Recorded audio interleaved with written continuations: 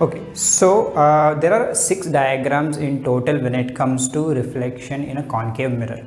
Uh, so we are going to go through them one by one. So if you see I've already drawn six diagrams. So I will tell you what changes these diagrams. Okay, objective position, image position and the properties. We can refer to the table. You will see that uh, the table that we studied last time, it's going to reflect the exact same things that we learn over here. Okay,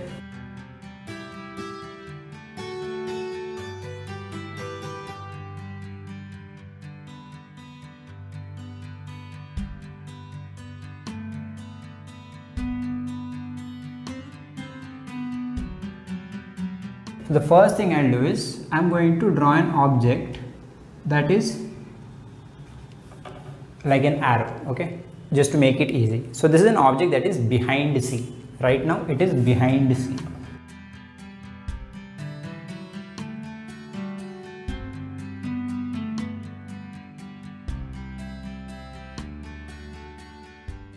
So if I recall the rules I'm going to uh, use any two of them right? So if i say the first rule i can say is i'll say that a ray of light comes from the top of this arrow from the arrow head. That ray of light is going towards the mirror hits the mirror and according to rule 1 it is going to reflect through focus like this. Right?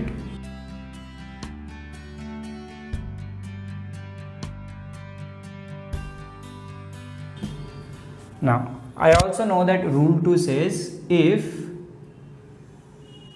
light ray goes through focus it is going to reflect and become parallel to this principal axis right?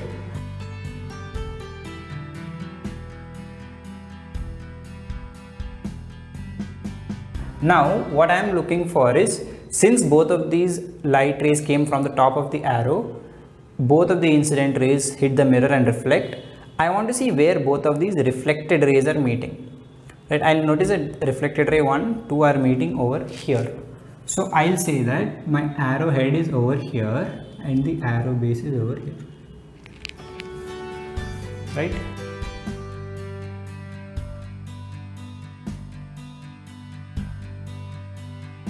This is how you draw a ray diagram you take two rays coming from the tip of the object and you see where the reflected rays will meet according to the rules. Now keep in mind that whenever you're drawing these diagrams, the distance between these two and these two should be same or else your diagram might come wrong. Now this is the first case object behind C, image in between F and C. It is slightly diminished and it is inverted.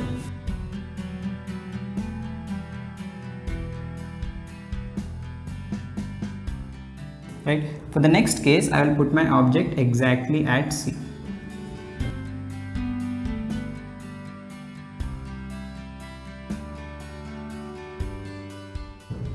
And I again follow the same two rules. One is parallel to the axis through focus ray number one. And the second one is through focus and then goes back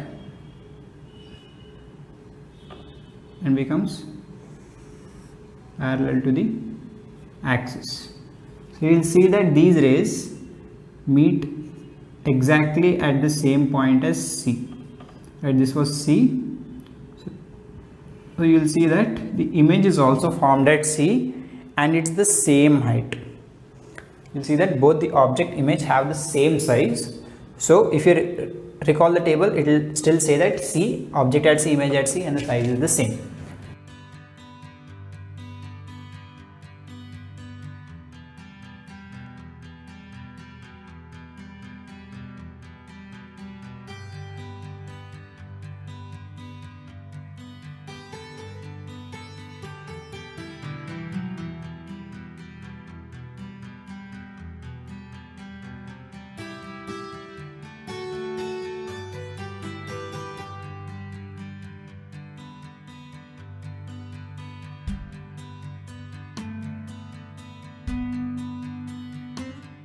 Right now I'm going to move the object a little more closer. I'm going to put it between F and C.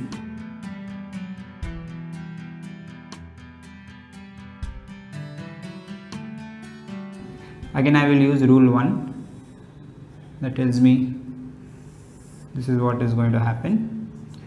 Parallel and through focus. Then I will use rule 2 through focus. And then becomes parallel right? So you will notice that they meet over here.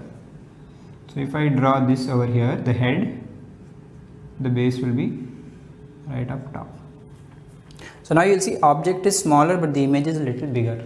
It's inverted and it's at the back. It's behind C. So that exactly correlates to our table again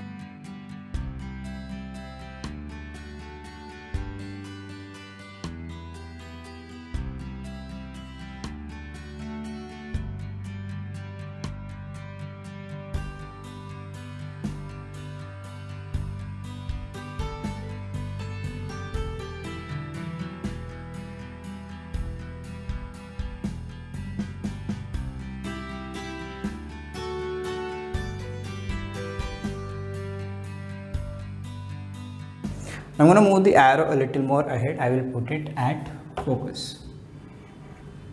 Case number 4.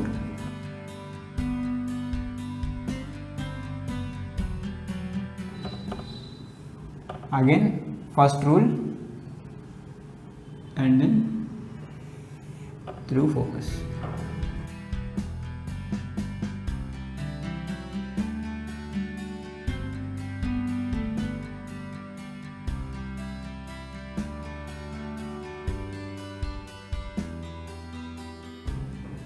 Now, I will not use second rule here. I'll in fact because focus is there so I can't move a light through focus. I will use the third rule here that says a light ray that touches the arrow but goes through C. Right? Third rule says if the light goes through C, it will also come back through C.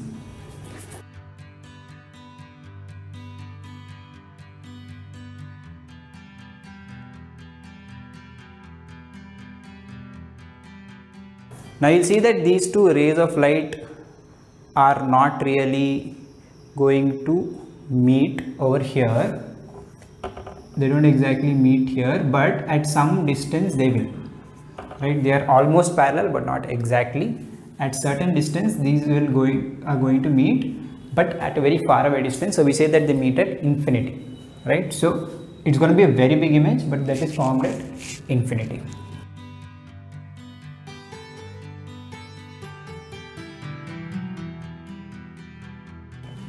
Now that brings me to the fifth and sixth case that we are not able to see through the experiment. One is what is if the, what if the object is at infinity and what if the object is between P and F. First I will go with infinity, right?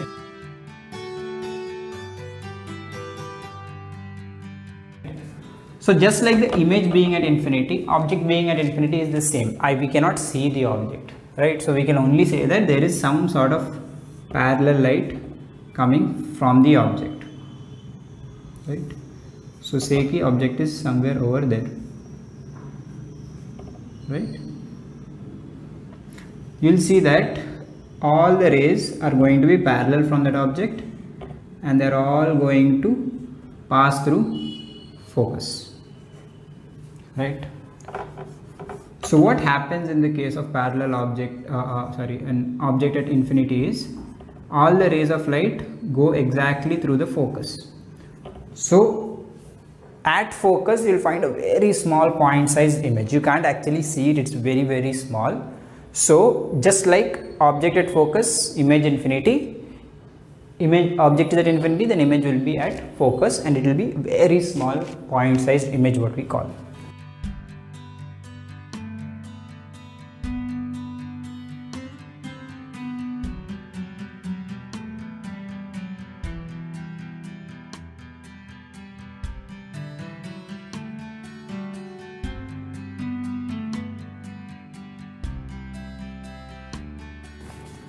Now lastly the sixth case that is between F and P.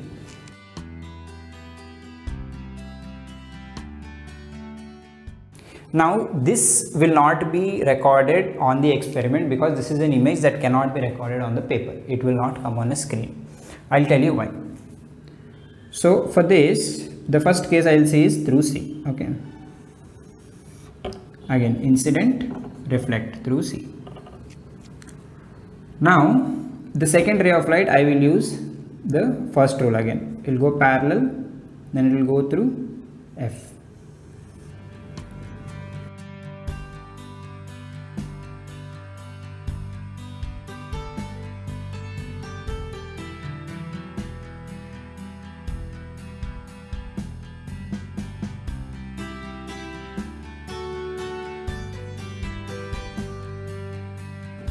but now if you notice notice this the light is behaving a little oddly over here right? It has never gone through the arrow before but now it appears to have. So what we say is these lines will never meet. But however we still see an image with our eyes. For that we are going to use these two lines okay I'm going to say that this line I will just extend it behind the mirror in its own direction. Even this reflected ray I will extend it behind the mirror in its own in this direction only right? You will see that these will meet at a point. So what I can do is I can make the image form over here behind the mirror. Now if you see every image we had, it is upside down. But this is the only image that is actually upright. The arrow is pointing straight, even the image is pointing straight. Both the object image are the same. This is called a virtual erect image and it is found behind the mirror. And none of these are found behind the mirror except this. Right? So this is the only case where you will see that.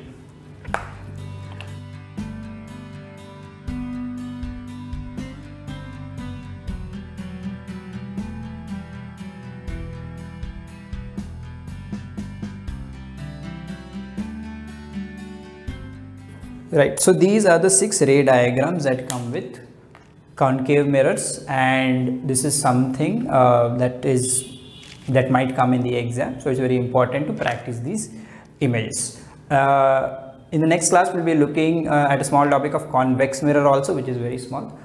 Uh, for today this is it